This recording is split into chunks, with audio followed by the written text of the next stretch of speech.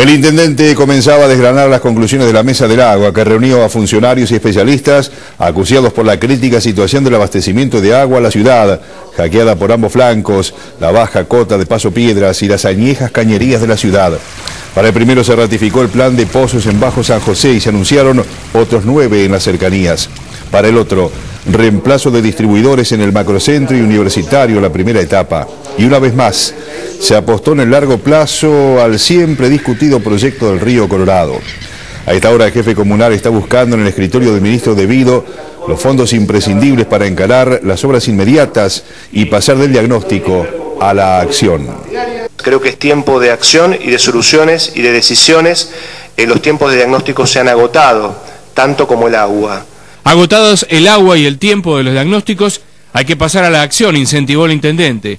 Pese a admitir que la situación es difícil, la palabra restricciones no figura por ahora en la agenda de los funcionarios. Nosotros no queremos decir que va a haber restricciones o no va a haber restricciones. Va a haber un plan integral dentro del cual hay decisiones que hay que tomar en el corto plazo, en el mediano y en el largo. Y tendrá que ver con cómo se equilibra el sistema.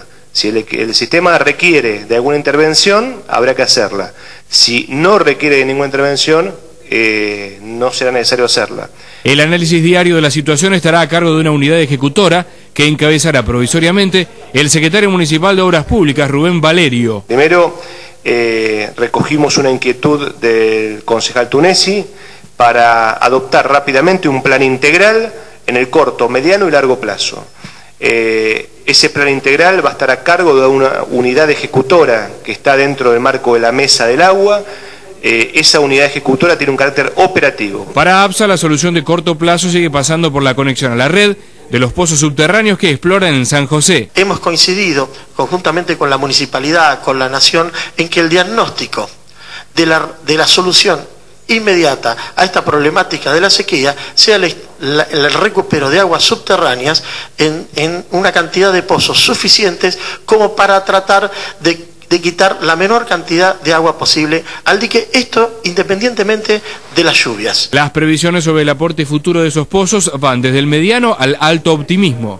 Nosotros pensamos que podemos realizar de esos pozos, podemos tener entre un 30 y un 70% del nivel de agua que se le está hoy retirando al dique Paso a las Piedras. Entonces, si pudiésemos solucionar, que creemos que sí, en esa coyuntura no habría este, ninguna necesidad de restringir. Para el largo plazo la salida sigue siendo el río Colorado.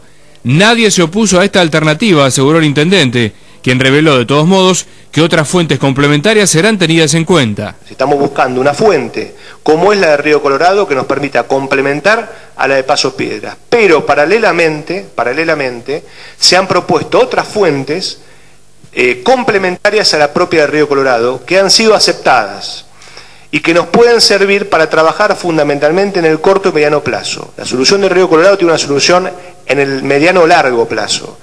Hay algunas fuentes de agua que o bien no tienen buena cantidad, o bien no tienen buena calidad, o bien no son duraderas, pero que en esta emergencia sirven y que en esta emergencia las queremos utilizar.